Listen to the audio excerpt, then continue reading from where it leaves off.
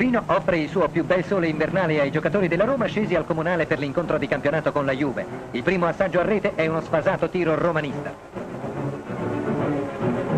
I giocolieri bianconeri entrano in azione. Tocchi e ritocchi. Tiro alto. Senza mordente il contropiede giallorossi. Brutti momenti per la difesa romanista che balla e deve subire un gol di Sivori. Tutta la squadra romana appare sfasata. Sono ancora in campo Ghigia e D'Acosta, che pochi anni or sono su questo terreno gelato di neve umiliarono la vecchia signora. Oggi sono l'ombra di se stessi. Le puntate juventine aumentano di ritmo.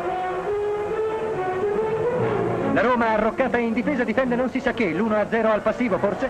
La fortuna è amica della Roma, le offre un regolare rigore che Zaglio sbaglia incredibilmente. Nella ripresa la Juve rinvigorisce la sua azione d'attacco, mentre si indebolisce il morale dei giallorossi. Ormai i bianconeri comandano la partita. Non sentono l'avversario, che ha reazioni soltanto in qualche atleta battagliero.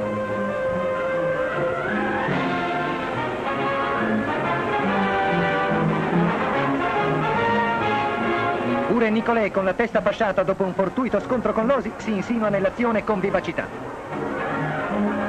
Da quella dominata metacampo chiave di volta di ogni incontro, la Juve prepara ormai la grandinata finale.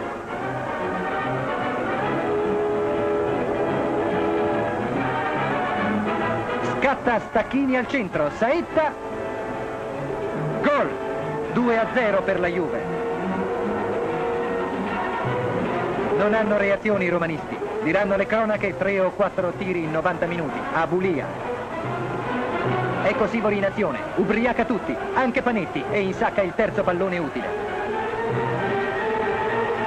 Un'inconcludente reazione romanista e il quarto gol della Juventus è un capolavoro di Boniferri. Guardate. La Roma ha gli uomini. A quando la squadra? Forza coi pattini per la classicissima del salto dei barili. Col fondo dei calzoni o col davanti del giubbetto i concorrenti provvedono a tenere lustra la pista di Growinger a New York. Il numero dei barili varia secondo la bravura dei partecipanti alla gara. In America è un vecchio sport tradizionale, modificato negli ultimi anni. Prima di saltarlo, il concorrente un tempo beveva in abbondanza la birra del barile.